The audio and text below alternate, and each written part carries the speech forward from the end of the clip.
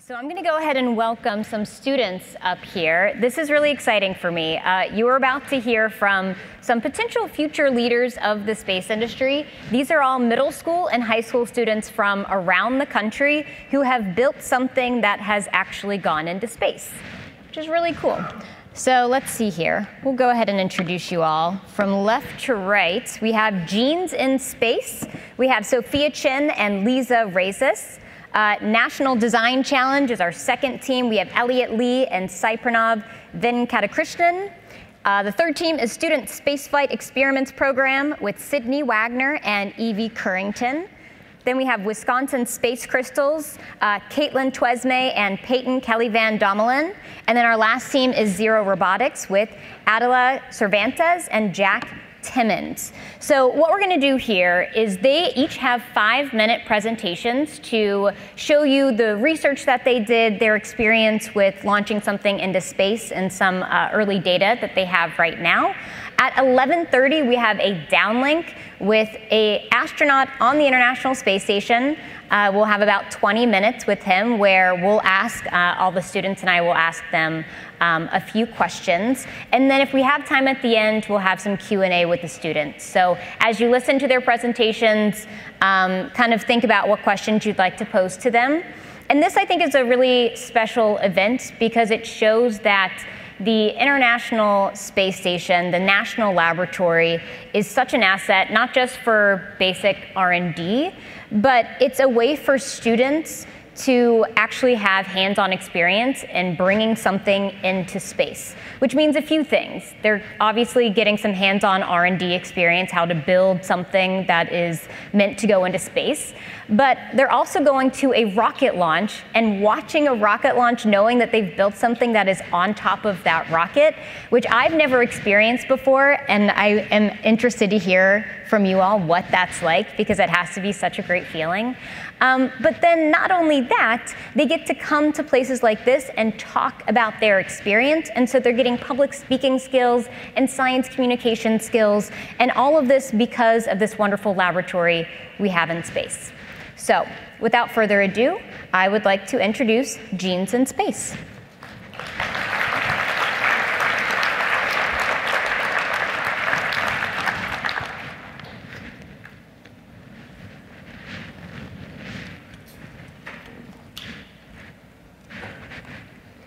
not? Maybe click the next slide. Is that not your presentation? Ah, there we go. I'm we're the 2017 Genes in Space winners, and we're going to tell you about our in Space 5 mission that was launched last April. So Genes in Space is a national competition that challenges students to create experiments using a procedure called polymerase chain reaction, or PCR, to be launched aboard the ISS. So PCR is a method so PCR is a method that amplifies specific fragments of DNA and is utilized for a wide variety of experimental designs both on Earth and in space. So Sophia and I both independently entered the competition with questions and concerns about the future of spaceflight and astronaut health. So my experiment focuses on immunodeficiencies that astronauts experience as a result of spaceflight. So specifically, I focus on T cells, which are the key parts of the immune system.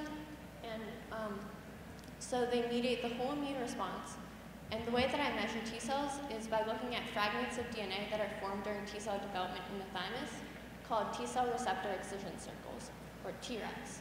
So TRECs in the peripheral blood um, circulate throughout the body, and they don't have a specific purpose, but by looking at the number of TRECs, um, we can measure the speed of the immune response, as the number of TRECs directly correlates with the number of new T cells being developed in the thymus. So my experiment is a PCR-based TREC assay of um, T cells and looking at um, mice as experimental organisms and gel electrophoresis to visualize the results. Um, so the first thing I did was a dilutions assay in order to look at, um, test the feasibility of a semi-quantitative PCR method as well as um, establishing the limits of dilution and testing the feasibility of this method. So as you can see, um, the results from both on Earth and in space are very similar. And so we looked at a five-month and a three-month-old female. And so the way that our gel is read is that the intensity of the band correlates with how much DNA is present. Um, so the next thing we did was looking at a series of ages between male and female mice. And so we also looked at a RAG knockout mouse, which is a mouse genetically engineered to lack an effective immune system. And if you look closely at the gel, you can see that there's no TRECs band present, um, meaning that on, on board the ISS, you can easily detect an, an immunodeficiency in astronauts. So in conclusion, my results show that um, we can quickly and effectively look at the effect of spaceflight on the immune system, paving the road for us to be able to look at how long-term space travel is affecting astronaut health and maybe looking into how the immune system is changing if we want to go into long-term missions such as going to Mars.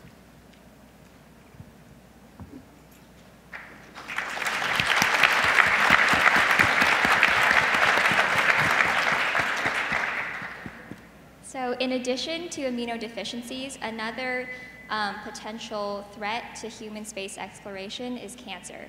And so my experiment um, kind of looked at the increased risk of cancer in space um, that may be caused by um, things like radiation and microgravity. Uh, so if we want to travel to Mars and beyond, it will be important to understand the effects and potential dangers that the space environment can pose on human health. Um, as I mentioned briefly earlier, exposure to microgravity and radiation is a particularly dangerous risk of spaceflight um, because studies have shown that radiation can cause uh, double-stranded breaks or single-stranded breaks among many other types of damage to DNA. And studies conducted in simulated microgravity have shown that um, DNA, the expression of DNA repair genes um, is actually lower um, when they are exposed to microgravity. Um, and so as a result of this um, damage to DNA, uh, DNA mutations can occur at a higher rate than they normally do on Earth. And this can result in genomic instability and predisposition to cancer. Genomic instability may appear in many forms, um, but one form of genomic instability that I was interested in was microsatellite instability.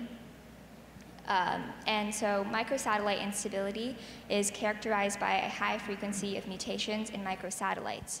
And what microsatellites are, um, wait, oh, okay. Uh, okay, microsatellites are um, tandemly repeated sequences of DNA um, that are made up of D short DNA motifs ranging from two to five base pairs that are then repeated five to 50 times. And so by analyzing microsatellite instability in space, um, the hope is that the hope is that we can gain insight into um, the increased risk of cancer in space. And so what my experiment aimed to do is establish the feasibility of a multiplex PCR-based assay um, that would allow for the informative analysis of a large amount of microsatellites and um, could be used as a method of monitoring genomic integrity in space. Um, and so uh, using DNA extracted from microsatellite stable and microsatellite unstable cell lines, multiplex PCR reactions um, were carried out on Earth and in space. Um, and the results were then analyzed using capillary electrophoresis. Um, and so these are the results of the experiment. And um, what we learned is that multiplex PCR can be used to accurately amplify microsatellites in space. Um, and so this could be used in the future and um, might enable diagnostics aboard um, the International Space Station in the future. I'll wrap this up really quick, but um, Genes in Space has been a life-changing experience for the both of us, and I think we've learned so much from it, um, and it's really cultivated our growth both as scientists and as people, um, and it's inspired us to want to continue to pursue science in the future and strengthened our aspirations to become scientists, and we're really grateful to have uh, had the opportunity to be a part of it.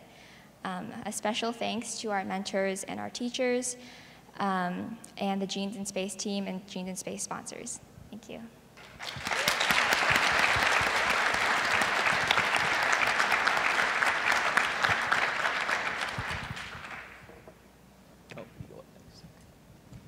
Good job.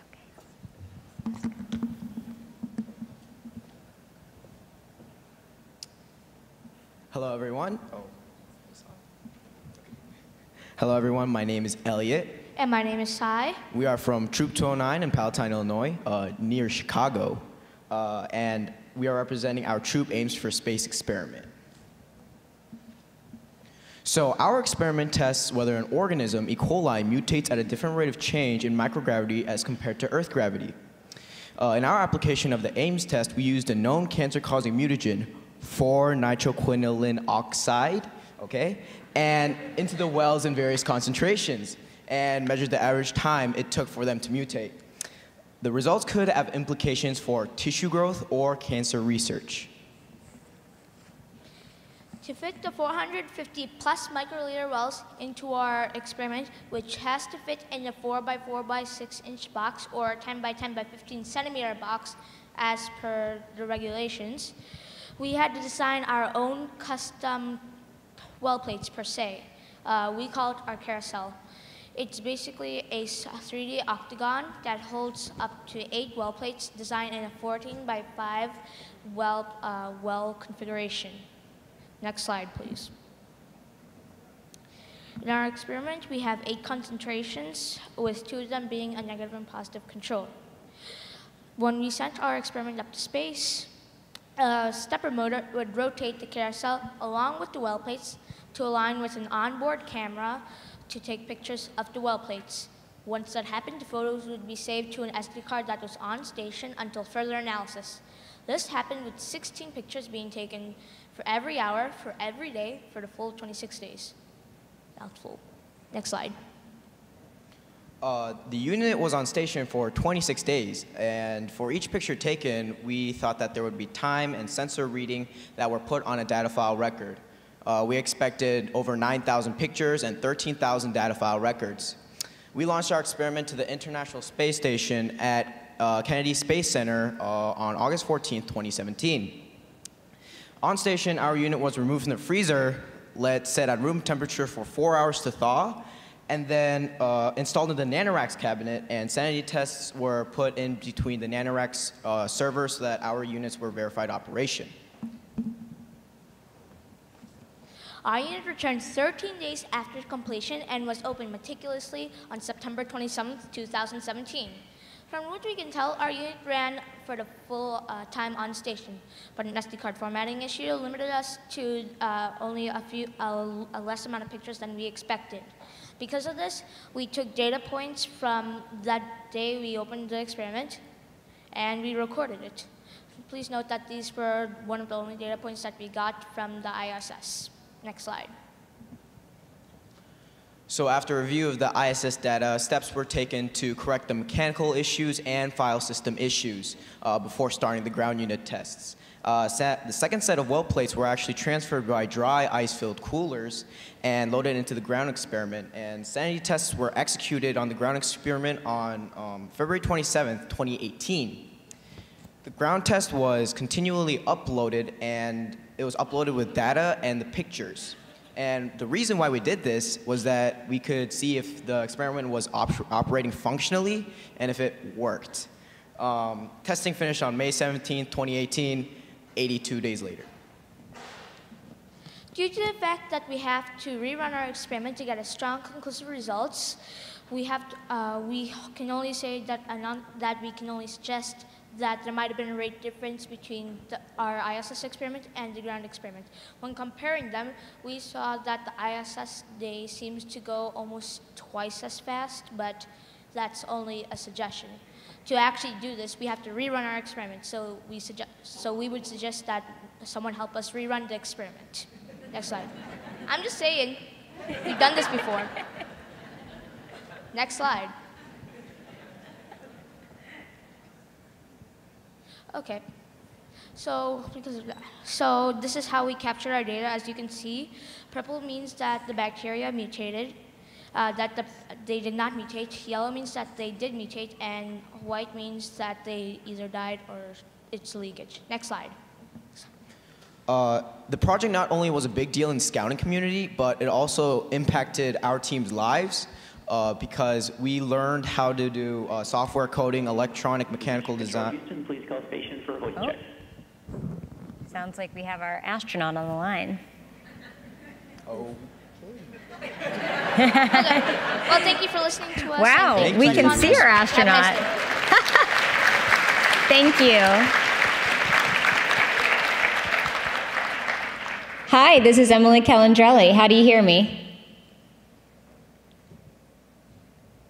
Oh, I've got you loud and clear, and welcome to the International Space Station. woo! Wow. This is very exciting. So, I am here with a bunch of middle school and high school students here in San Francisco, California, and we have a few questions for you. We are with um, astronaut Drew Feustel. So, um, I'm going to kick this off with a couple questions, and then I'm going to hand it over to the students. My first quick question is Can you talk, Drew, a little bit about how STEM has enabled your career as an astronaut? Over.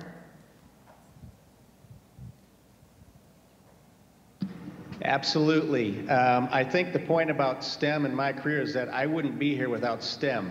Um, I, I took some time after high school to determine what it was I wanted to do uh, as a profession, and I attended community college for th- three years. And at that time, I worked as a mechanic as well, so I was exploring different options in my life. And uh, also uh, at community college, I studied both industrial design, which is sort of an artistic uh, bent, and then also science. And in the end, I decided that science was important to me, and that I was curious, and I had a lot of questions about um, the Earth and Earth processes. And then I, so I went ahead and pursued a degree in uh, geosciences. And for me, um, that was the point at which I turned my attention to science.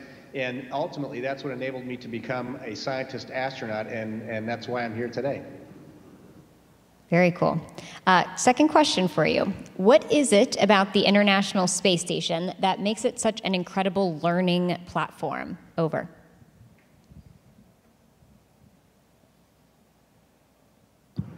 Well, uh, it really is an international, uh, international sort of professional uh, laboratory in space. I mean, we have all the uh, capabilities up here that you find in many advanced laboratories on Earth, um, studying everything from agriculture to uh, medicine to biosciences. I mean, we cover the whole span, uh, Earth observation. Really, it's just a great platform for all science, not only for Earth observation and studying the effects of space on humans, but also looking at processes uh, important to human life on Earth. So the work we do here is off the Earth because we're in space, but really it's focused for the Earth and for the inhabitants of our planet.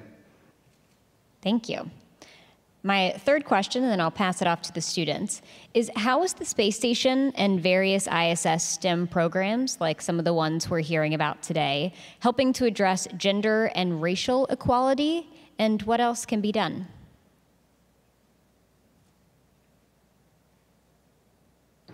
Well, as you know, uh, we have uh, we have uh, I, what I consider uh, a good representation of uh, females in, in as astronauts and working in the space program. Um, I would I consider that uh, in around NASA and throughout our agency, um, we see at least 40 uh, upwards of 40 percent of females working in. Um, um, high, high roles or, or important roles in, in management and engineering and technology. And we also have uh, excellent representation within the astronaut program itself.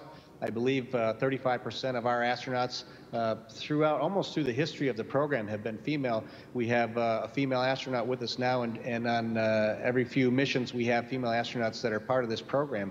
And so I, I think NASA is being very proactive about uh, trying to engage in that process and making sure that uh, we maintain gender equality and we value the inputs. In fact, those the, the females in our programs are great leaders for us and provide great opportunities uh, for the rest of us to excel uh, and become good followers uh, following their role models. Hello, my name is Lisa Rezis, and I go to Stuyvesant High School in New York. And my question is The current graduating class have had astronauts in space for their entire life. How is this current generation empowered through authentic student experiences with space?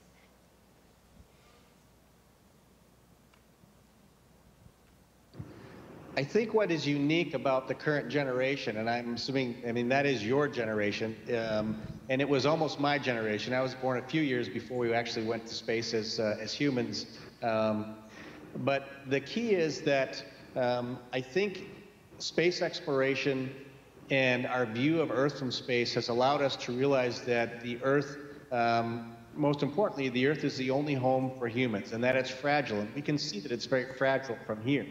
Uh, I think it's important for as, as we share our experiences in space, what we're trying to convey to uh, who have not seen Earth from space, have not had this vantage point, is that um, Earth is small.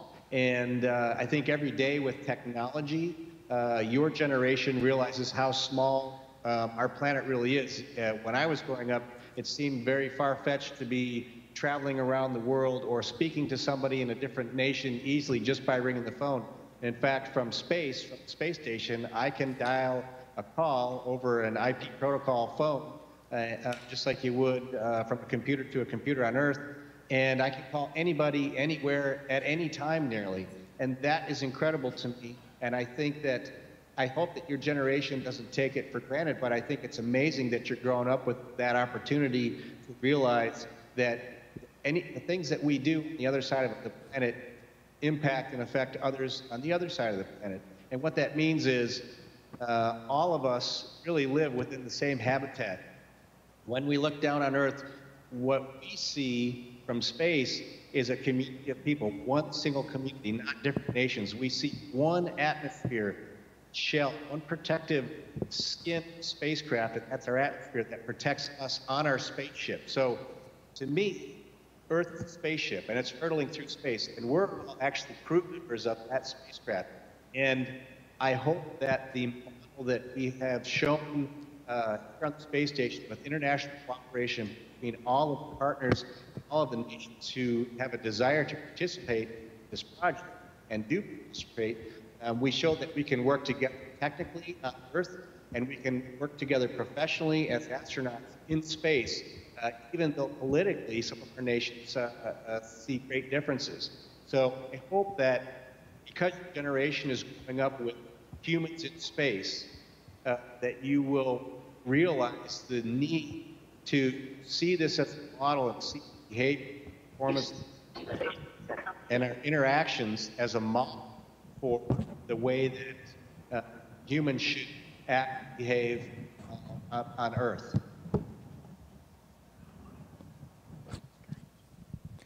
Uh, hi, my name is Sophia Chen. I go to Lakeside School in Seattle, Washington. And my question is How would you sum up the importance of the ISS to humankind and the world? Over. that allows me to elaborate on the answer that I just gave. Uh, I see space as the future of humankind. I see, I believe that there is a need for us to learn to live off of the planet and embrace space and space exploration. Uh, we don't really know what's out there. Uh, the Hubble telescope and other instruments have shown us that there are many possibilities, I believe, for life in space and many opportunities for humans or a species like ours to exist out in space. And we also know the perils of having only one planet to live on. And at NASA, we call that a single fault tolerant, which means if you lose that one protection uh, that you have, you could be done for. And so um, I think the key is that space, uh, ISS is a stepping stone that's going to allow humans to learn to live in space and work in space and live off the planet and find ways to continue our existence.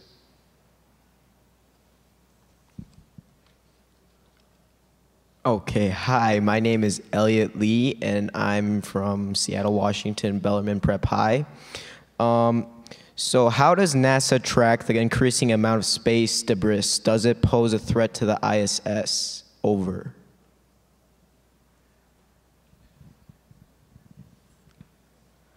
That's a good question, and it's a common problem, a, a constant problem for us in space. Uh, there is always a threat of debris in space, and debris can be natural debris that's uh, been created by the universe and that, flies around the things that have, uh, for example, uh, made the dinosaurs extinct and created large uh, craters in, in many orbiting bodies around the sun.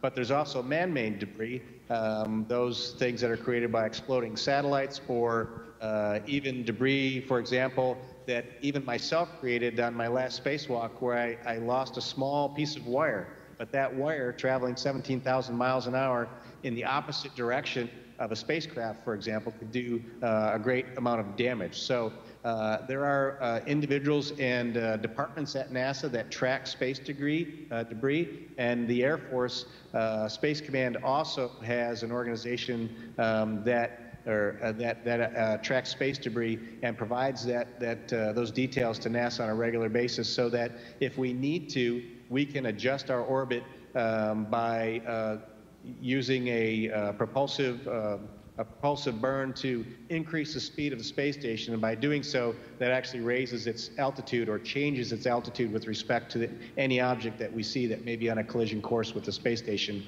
or meets certain criteria to be within a certain range from hitting the space station.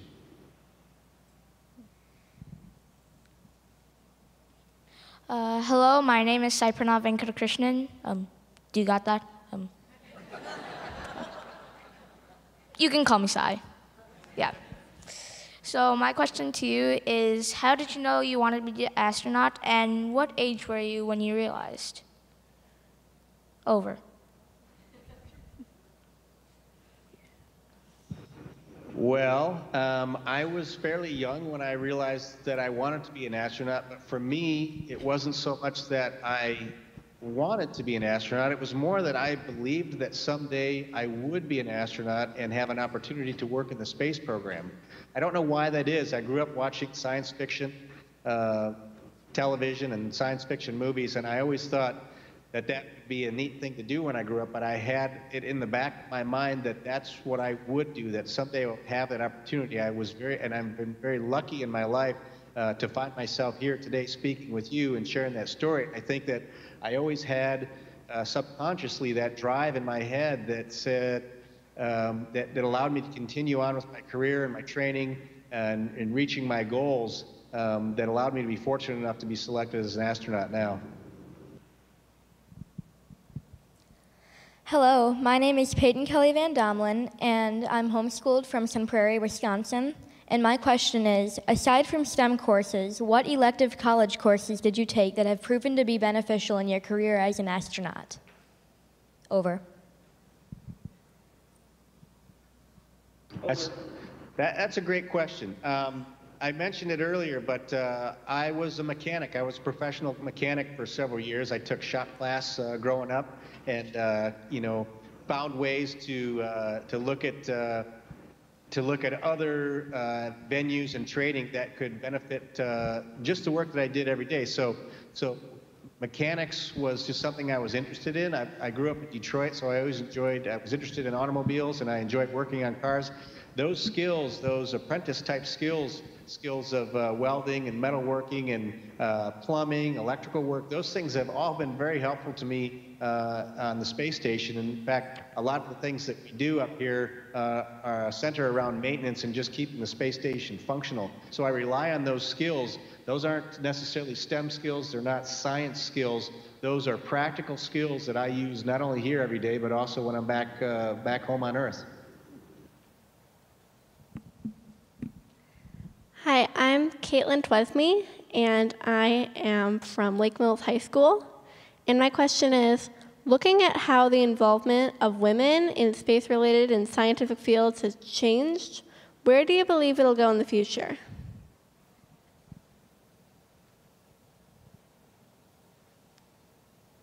And specifically, where do I believe women will be in the future? Where do I believe humans and space exploration will be in the future? Well, um, I think how how involved women will be in the space programs will be.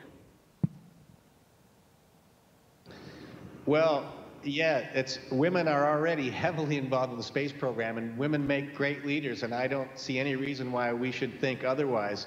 Um, I, I don't feel that um, we're lacking in, in that area right now, although uh, statistics would show that we are. And I would encourage women and young girls to pursue uh, careers in STEM, science, engineering, technology, mathematics. History has proven that um, women make great leaders, and uh, and we are all extremely receptive to, to that idea. And I think you should continue to follow your dreams um, just like anybody else. Uh, place a goal out there that is as high as you can, as high as you can see or imagine, and then go for it. Nothing really should shut, stop you. I don't, I don't believe there are any obstacles in your way.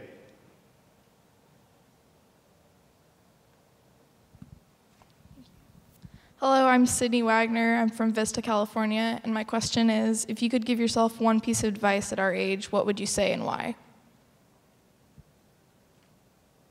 Over.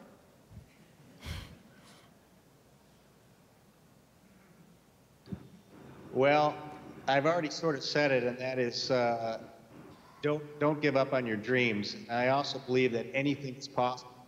Uh, I had no idea coming out of high school uh, with mediocre grades and uh, attending community college uh, that I would ever end up being an astronaut. I went on from community college to attain, attain a PhD in seismology and worked for one of the largest oil companies in the world, ExxonMobil, and then and then eventually made it here uh, to NASA. And I've been here at NASA for 18 years. Uh, when I was young and heard somebody say to me, "You can do anything you want. Your dreams are all possible uh, believe in them, I really I thought it was a cliche, but knowing that I made it from high school and community college and not really knowing what I wanted to space space exploration really is proof that anybody can do anything they want, and you just need to uh, open the doors that are in front of you. Don't leave any opportunities uninvestigated. Uh, take every chance that you can, and don't lose sight of those dreams. Thank you. Hi, my name is Evie Carrington. I'm also from Vista, California, and my question is what is a typical day like on the International Space Station?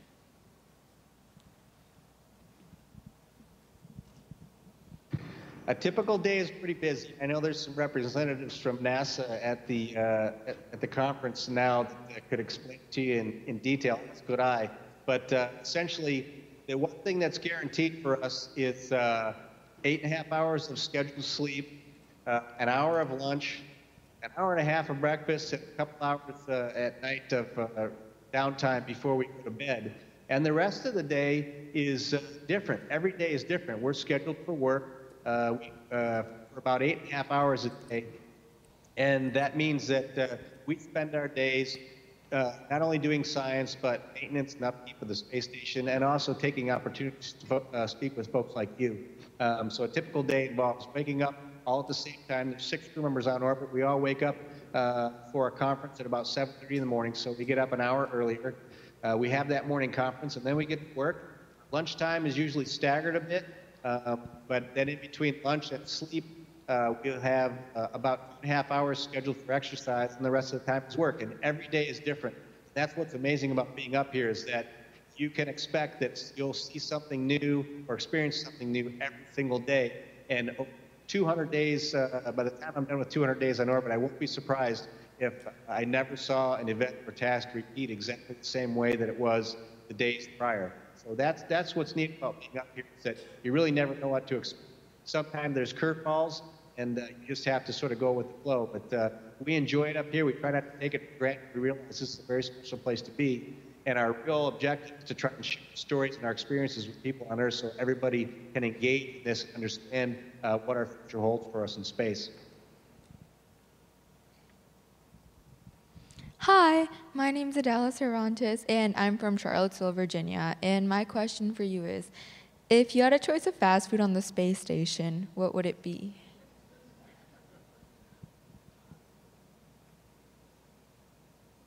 And j- please repeat the question if I had, I didn't catch the last part. Something secret to be on the space station?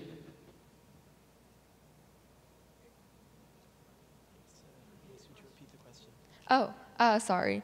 If, if you had a choice of fast food on the space station, what would it be?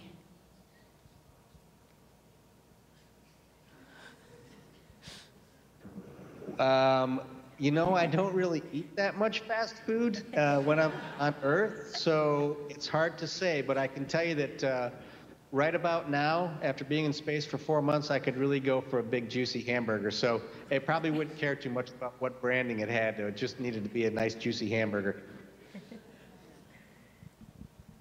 Um, hi, I'm Jack Timmons uh, from Charlottesville, Virginia as well, and I was wondering what your favorite experiment on the ISS has been. Oh. Shucks. Uh, you know, that's a tough question. I can't say that I have a favorite because, as I mentioned before, every day is different, and we have over 250 experiments going on, ongoing um, throughout several increments on board the International Space Station. Um, so it's tough to say. Uh, I like it when we're growing plants or grass or flowers on the International Space Station. Right now we have an algae experiment going on. Uh, we're looking at uh, mobility and fertility, uh, fertility and reproduction issues. We're looking at uh, gene, um, sorry, we're looking at uh, pharmaceuticals and med medication related to cancer treatment. Um, and we're also looking at, uh, I guess we have the Project Genes in Space as well, though I haven't been working on that too much. Um, there's a lot of neat things going on here, and it's, it amazes me to see the details of what those things are. Um, but I can't say that I have a favorite because I don't want to call one out. But uh, suffice it to say that every day is something a little bit different and very interesting. Drew, I know we don't have too much more time with you. Um, one last question while I'm on stage with a lot of middle school and high school students. The demographic of our audience is a bit older. Um, what would you suggest? What advice would you give to parents and maybe educators on how to get younger kids excited about space exploration? Yep. Is it going to happen again? Yeah, okay. Well, I think that was probably the end of it. Is that, is that what that looks like? Okay, well, thanks to Drew.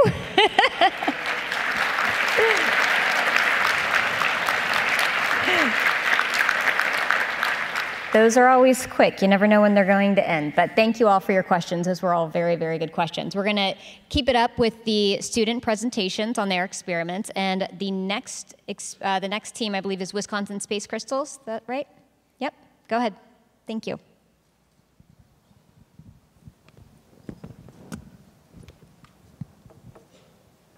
Good morning. My name is Peyton Kelly Van Domlin, and this is Caitlin Twesme, and it is a pleasure to have the opportunity to tell you about the Wisconsin Space Crystal mission. Our team consists of four members who won top prizes during the 2017 annual Wisconsin Crystal Growing Contest. The team members are Caitlin, me, and Olivia and Thomas.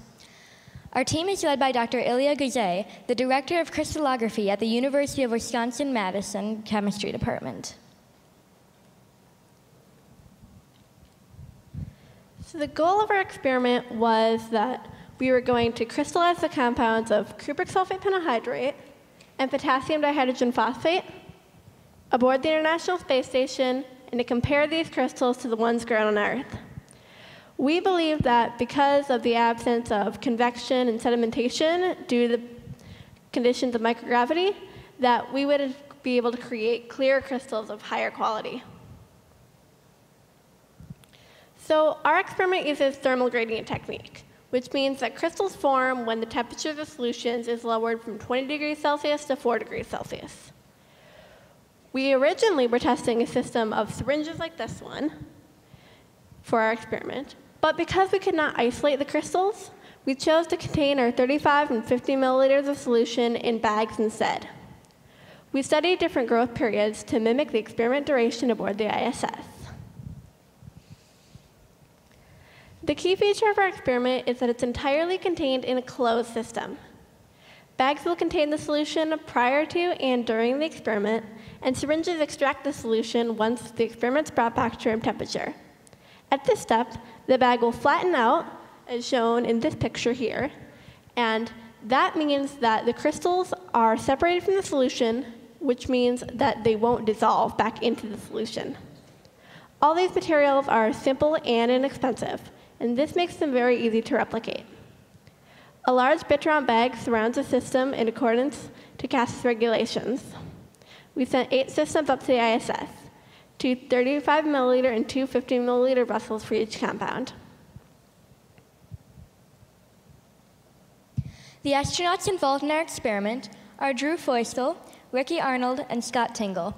First, the astronauts checked the bags to ensure that there was no crystal growth prior to the start of the experiment. Then, on April 11th, the bags were placed in a 4 degrees Celsius refrigerator so that the solutions inside them would crystallize. After seven days, crystals of potassium dihydrogen phosphate formed in all four bags.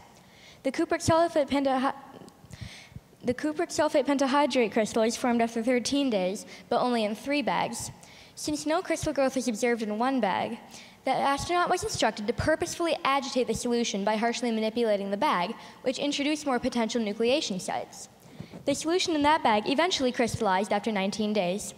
Once the crystals had formed in the bags, the astronauts extracted the remaining solution to isolate the crystals for their return to Earth. In the end, all eight bags that we sent came back with space crystals. Once our space crystals returned to Earth, many tests were performed and compared with our control experiments. The crystallization experiments on Earth and in microgravity produced crystals of the same composition with the same lattice structure. This was confirmed by single crystal X-ray diffraction, Raman spectrometry, thermogravimetric analysis, and melting point measurements. Upon optical inspection using a Leica microscope, the space crystals appeared to have a smoother surface than the Earth-grown crystals. The crystallization yields were comparable and within the limits of our theoretical yields. Some of the results are still pending, but will likely confirm that the space and Earth-grown crystals are indistinguishable with an experimental error.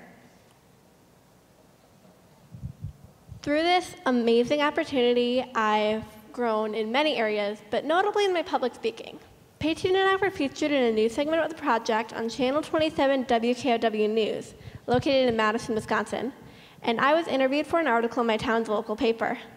I was also able to witness unique career possibilities that I never would have previously known of, such as when our team had the opportunity to use the VR equipment of Dr. Braddock, who uses this technology to study molecules. My favorite part of this experience was definitely being treated like a professional the entire time. I've undoubtedly learned a great deal and acquired many valuable skills. In my experience with the Space Crystal mission, not only did I have direct exposure to crystallography, but I also gained several supplemental benefits, such as presenting to a large audience, answering questions from audience members, facilitating a poster session with the general public, and learning new software through the design of the mission logo and posters. I also got to work with scientific experts in a professional lab environment. The Space Crystal mission has provided other scientific opportunities for me as well. I won a full tuition academic scholarship to attend Space Academy in Huntsville, Alabama in August. I've also recently gained early admission into the University of Wisconsin colleges. There is no doubt that my experience with the Space Crystal mission has helped me obtain these opportunities. A big thanks to all the people who helped us in the Space Crystal mission. Thank you for your attention, and we are happy to answer any questions you may have.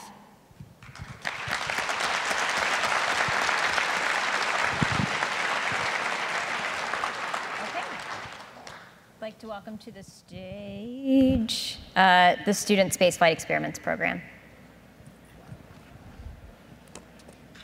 Hi, my name is Evie Carrington, and this is Sydney Wagner. Our team is comprised of five students in grades 8 through 10. We recently published our work in the Women's in Science edition of the Frontiers Journal. We would like to acknowledge one of our team members, Charlotte Carrington, who is in the audience today, however was unable to present with us. At the time of this study, we were all middle school students at Vista Magnet Middle School in Vista, California.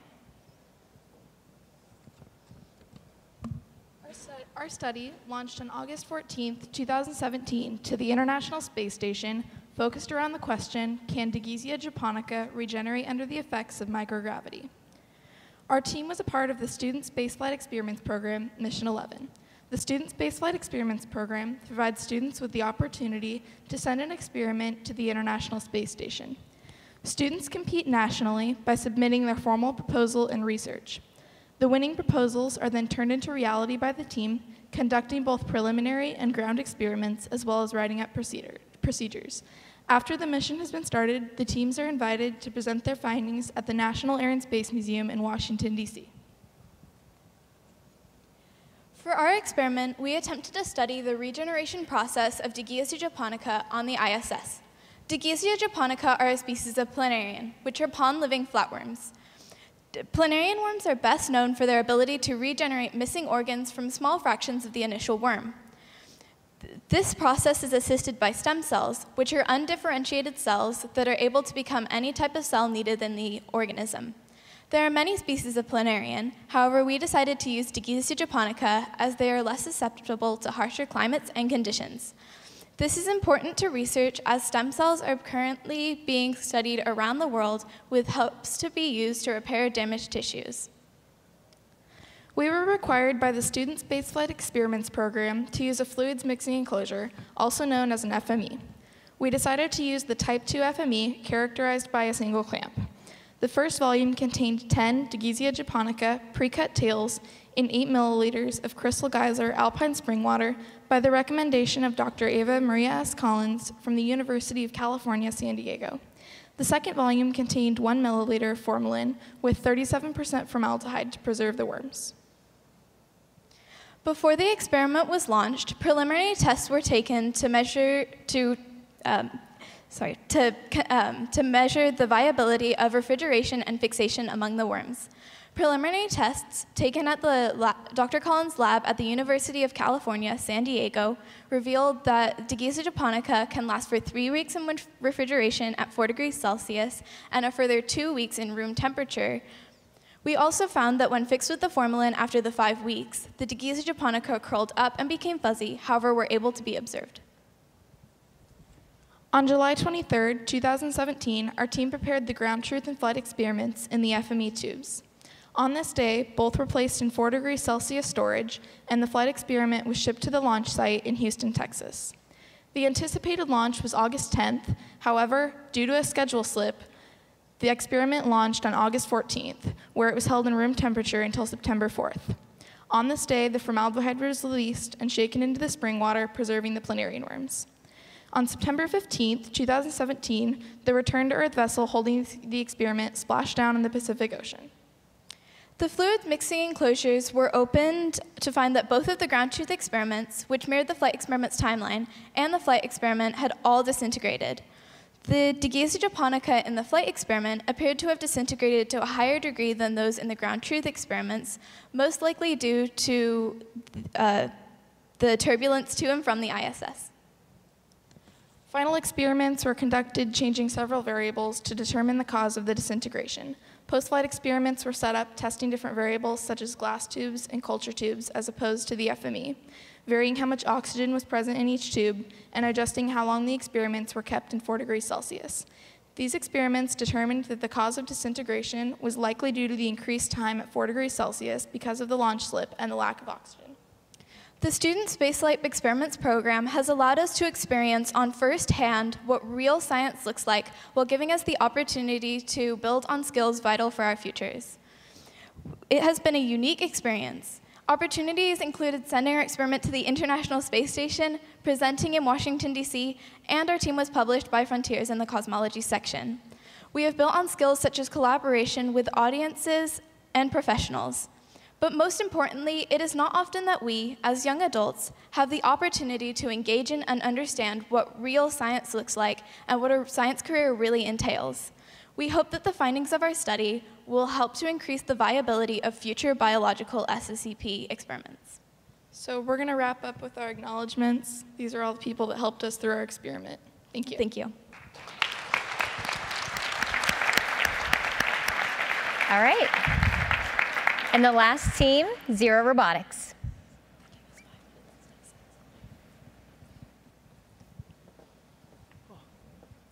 So, hi. Uh, I'm Jack Timmons. I'm from Charlottesville High School. I recently graduated, and I've been doing Zero Robotics for the past three years. Uh, hi. My name's Adela Cervantes, and I'm a rising junior at Charlottesville High School, and I've been on the Zero Robotics team for one year. So we're both here re- uh, repping a club called Bacon at our high school. And, oh. Uh, BACON basically stands for the Best All Around Club of Nerds. We've been doing ZR for nine years. and as our name entails, we try to engage in as much nerdy activity as we can. And sometimes that's launching high altitude balloons, sometimes it's touring CERN and having lunch with particle physicists. But today it's zero robotics. So, our school has been participating in the Zero Robotics competition for the last nine years. Every, each year we've been very successful and have made it to the ISS finals. So outside of our season, we hold training sessions for people that wish to join Zero Robotics during the actual season. And these training sessions include guided tutorials and mini competitions. Cool. So what is Zero Robotics? So Zero Robotics is a programming competition that consists of three simulated phases and then one actual phase.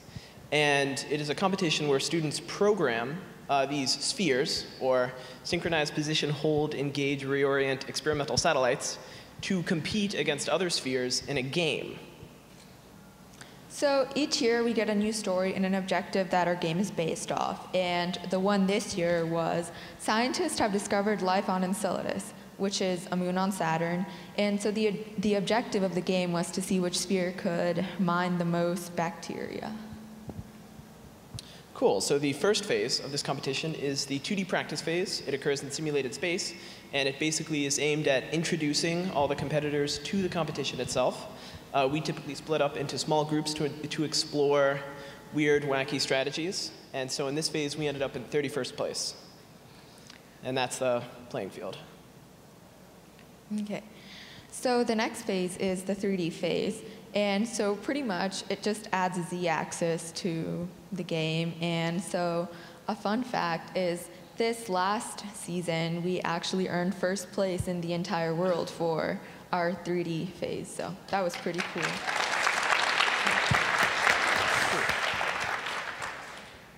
And the next phase is the alliance phase, which is also pretty cool because we get to um, form an alliance with two other teams from around the world when they can't be from your same country. So that's really cool. And actually, we got to meet our Romanian teammates this year at MIT. And we also had an alliance with a team in Paris. So. Cool. So the last final, oh, and that's the alliance simulated space. So the last final and coolest phase of this competition is the ISS finals, where when, student, when students submit code, instead of running in simulated space, it gets sent up to the ISS where it competes against other actual spheres aboard the ISS, and the games are refereed by astronauts. Um, while being a pretty cool thing that you can do in high school, the ISS finals also really introduces students to the differences between programming sort of theoretically and having to deal with like experimental noise of actually trying to make an actual sphere work. Um, this is a cool graphic. If somebody wants to ask me about it, we don't have time. Okay, so we were able to use Git for version control, and it really helped us collaborate, and it facilitated our management, which was really convenient. And it was even better because we were able to use an open Chrome ex extension developed by Jonah Wiseman, who was one of our teammates, and it actually helped us a lot this year. Cool. Okay, so we're going to quickly go through three impacts that we found in this competition. The first is problem solving. So life is like a huge medley of problems that all require solutions just about, and the problem-solving skills strengthened by this competition can really be applied anywhere.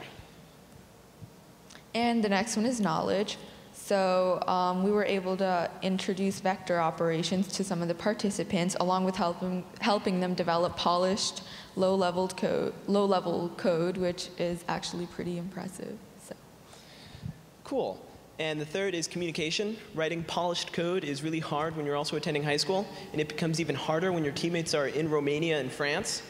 So cornerstone being the cornerstone, sorry, communication being the cornerstone of all teamwork is very important.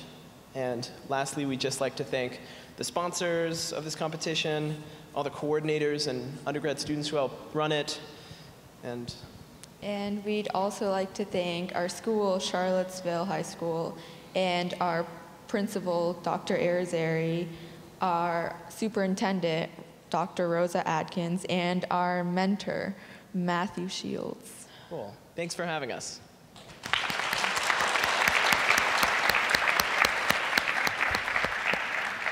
So can we have another round of applause for all of these students? It's very scary to get up in front of a group of people this large. You guys did a great job. So I have a couple questions um, for the entire group. Can you guys raise your hands if you went to the launch yourself? So a few of you. So those that did, can you talk about your experience? What did you launch on? How did it feel to watch a rocket launch knowing you had something on that rocket? Sai, did you want to talk about your experience? Oh yeah, you guys have. Thank you. It was amazing seeing the rocket launch. It was mind blowing because you never seen a rocket launch in person. It's always just like on TV. Ooh, in TV, it's so amazing. But when you're actually there, it's 10 times more amazing. And I remember calling my mom saying, Oh my God, my experiment is space. And then she's saying, Sai, stop talking to me and look at your experiment. I'm not important right now. and so the launch is amazing, and we and me and my teammates were cheering uh, that our experiment is going to space. You never actually expect that this is going to happen until it does. Um, I know me and my partner can say definitely for sure. Definitely. Yeah. Definitely. Yeah, Lisa and Sophia, do you want to talk about your experience? And what did you launch on? What you launched on a Falcon, is that right? Falcon 9? Great. What about you guys? Uh, yeah, I think our experiment was also on the same um, capsule as theirs. Um, yeah, it was absolutely thrilling. Um, it was, like they said, almost um, like we hadn't imagined that our experiments could actually be heading to the International Space, Space Station before that day, and it was almost like surreal. Like we couldn't really believe it. Like it's oh my god, it's actually going up. And um, yeah, do you have anything to add? Um, I think the moment that I realized that it was actually happening was like the, the whole ground starts shaking, and you kind of feel it all throughout your body, and just very exciting. Yeah. Now, you all have various mentors that help you with these programs. Does anyone want to talk about how those mentors have helped you and how useful that's been for your experience? Because there's a lot of people involved in these programs that are volunteering their time. Yeah. Definitely. So, our mentors, uh, like when we first started the project, me and Sai and the rest of the team, we knew nothing, like absolutely nothing about how to start it, how to continue it, how to like plan and coordinate. Well, I want to give a shout out because I didn't get, get it. Um, I want to shout out Mr. McFarland, Miss Cassidy, Mr. Marks, and Dr. Short for helping us in the project and experiment. Um, but anyway, they helped us um, learn our electronic coding, our software, our hardware, our camera, our communications. Without them, I'm pretty sure we wouldn't be here today. Yeah. Go ahead. Um, so my experience, my experience with the Student Spaceflight Experiments program was rather different. Um, for the Student Spaceflight Experiments program, we try, uh, our teacher facilitator tried her best to be hands off so that we had the true experience of learning what science is in the whole process. So we got to completely re-look at what scientists really do. And it was very she guided us. However it was mostly student led and that helped us to really see what the scientific process is and what it does uh, go ahead you yeah you were uh, just to add to that we were also similarly student-led, but it's still a really big thing to be given like a space to work on your projects and help if you need it to work on your projects and just being backed by having a teacher and being backed by your school system is just also incredible. Yeah, go ahead. So we were led by Ilya, Dr.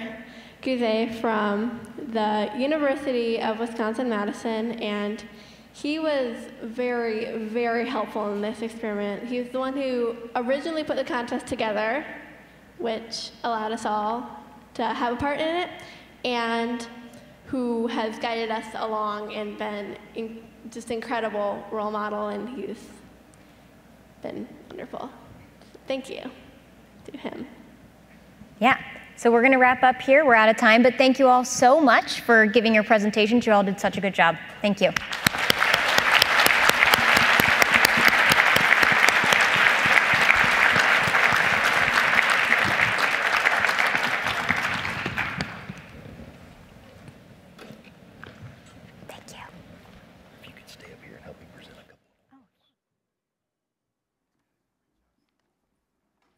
Thank you. One more, one more applause because these guys are really, really special, these ladies and gentlemen. Awesome job. So my name is Ken Shields. I'm Director of Operations and STEM Education at uh, CASIS and the ISS National Lab, and it's my great honor to present a couple of new awards that we're doing for the first time this year. So these are inaugural world uh, awards uh, in STEM education. We've got an Educator Award and a Student Award. Uh, so without further ado, uh, we'll get on with it. Um, so the first award is the CASIS Space Station Explorer Exceptional Educator Award which rec recognizes an educator who has gone above and beyond in their dedication and their passion for their craft. Uh, they also have done outstanding work in using, utilizing, applying ISS related programs to engage students in STEM subjects and hopefully careers. This year's award winner is Miss Nicole Seeley, who is a middle school educator at Bok Academy in Lake Wales, Florida. Nicole has been teaching for 12 years and has won several regional awards for excellence in education. As a space station ambassador, Nicole has helped other teachers bring ISS activities into their schools, classrooms, and communities. She is extremely involved in her community, bringing opportunity to a lot of young folks who would never see the types of programs and the types of experiences that they're able to take advantage of through what, what Nicole brings them. As an example, just a few months ago, we were at risk of, of losing our ability to participate in Florida with MIT's Zero Robotics program. Uh, Nicole was, was a veteran of that program for, for several years and just simply, she wasn't going to take that for an answer. So she jumped in, got involved, went to MIT, got trained, and ran that program in Florida uh, to, to allow us in Florida to continue to have zero robotics uh, without interruption. Um, Nicole, come on up. It's my honor to introduce everyone to Miss Nicole Seeley, the 2018 winner of the CASIS Space Station Explorer Exceptional Award winner.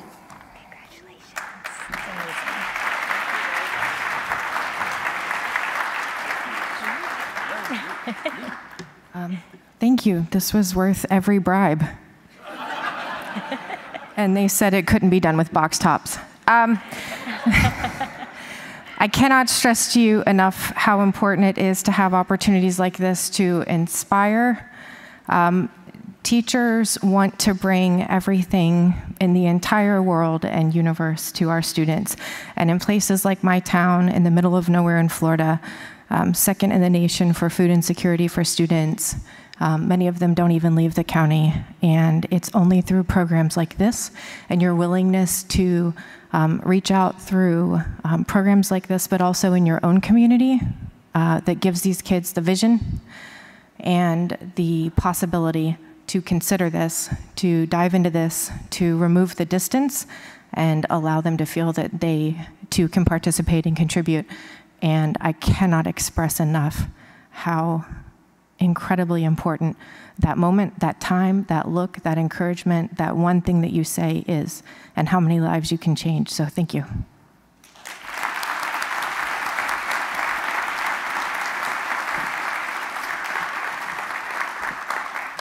Thank you, Nicole. Those are uh, great words. Um, so now, uh, on to the next award. And uh, in, in education, uh, particularly in CASIS, we're always um, ensuring and trying to understand what is the impact that we're making. It's easy enough for us to count uh, our participants, both uh, educators, students, uh, uh, citizen scientists, but the impact is really what we're after. And, and so we believe that, that our, our student award winner uh, of the CASIS Space Station Explorers Exceptional Student Award winner is a great example of impact and what these programs can mean to people, not only in their education and their career choices, but their lives. And uh, our, our, Space Station Exceptional Student Award winner this year is Jalissa Herrera. Jalissa is a recent high school graduate who is currently attending Evergreen Community College in San Jose. At one time, Jalissa was on the pathway of actually dropping out of school. She wasn't real excited about going to class and, and learning and, and just was at a point, I think, in her life where she was about to go, and, and who knows what sort of path that may have led to. Um, she got involved with a, an at risk uh, program, um, intervention program, if you will, and she participated in one of our partner programs called Quest for Space. And they're here. You can talk to the, to the Quest for Space folks in the uh, exhibitor hall.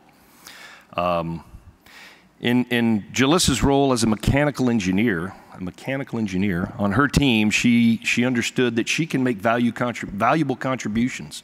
And she learned she could do this stuff. It wasn't that hard uh, when she really started to apply herself. And she, also, I think, learned that she could be a valuable contributor to her community as well. So without further ado, I want to bring up Jalissa Herrera, uh, this year's uh, 2018 Space Station Explorers Exceptional Student Award. Jalissa?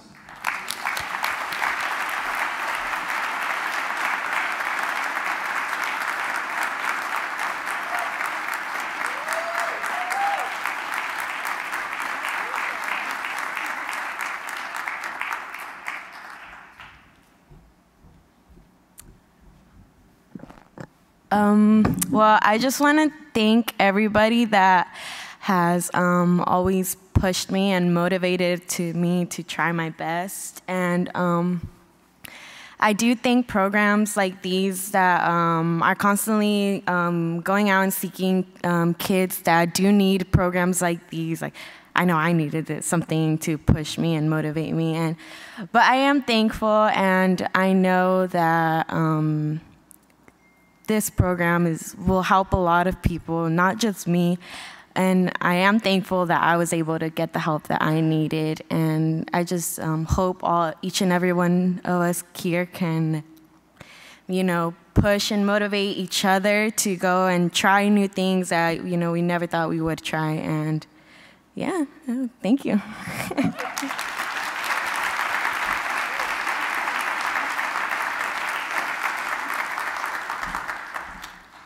Congratulations, uh, Jalissa and Nicole. That was awesome. Um, so, just one, one parting thought. Um, we heard some, from some awesome students today.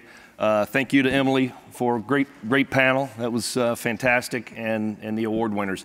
W- one thing I want to throw out to the audience um, you saw a lot of uh, uh, really, I, I think, inspiring information that was shared here today. And I think we should all receive that also as a call to action because we, we can't do this alone, and, and we're not doing it alone. We have a, a, a fantastic consortium and partner of programs uh, who contribute to this valuable mission. But everyone in this room, particularly our, our industry partners, uh, we can do more, we must do more. Uh, whatever little bit you can contribute, or a big bit that you can contribute, we'll take a lot. Uh, will help the mission. So if you, if you have that passion and if you can receive that, that sort of call to action, uh, please reach out to myself, Dan Barstow, anyone at, at CASIS uh, and the National Lab, and, and we will find a way that you can help. And it's not always money, it can be all sorts of uh, different activities, mentorship, uh, and involvement. So uh, please consider that and, and help us in the mission. With that, we'll close the session. Thank you very much for your attention. We appreciate it and enjoy the rest of the uh, conference and safe travels home.